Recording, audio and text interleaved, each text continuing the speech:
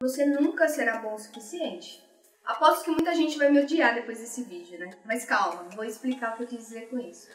O poker, além de um jogo de cartas, é um jogo de pessoas. Ou seja, ele é muito imprevisível. Não existe uma receita de bolo para saber se vai dar certo ou não. Por quê? Afinal de contas, as pessoas estudam, elas evoluem e, consequentemente, as estratégias mudam. Então é muito importante que você nunca pare de estudar, que você não entenda que já conhece todas as estratégias, porque elas mudam o tempo todo. Então é importante que você esteja ligado sempre na tendência do jogo.